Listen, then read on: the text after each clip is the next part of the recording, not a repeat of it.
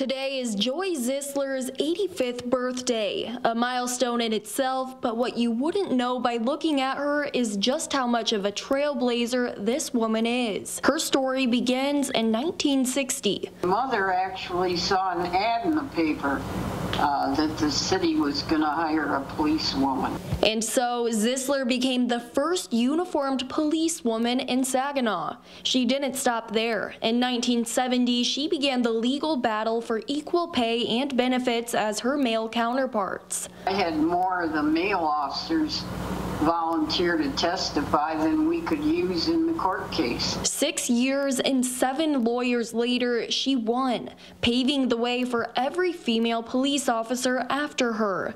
But not all of the men on the force welcomed Zissler with open arms. Some of them never came around, and I always just felt sorry for their wives, wondering how he treated them. Zissler remained on the force for nearly 30 years until her retirement in 1989. She has since moved to Wisconsin with her daughter, Melissa. Mom was a, you know, a great example of what you could do.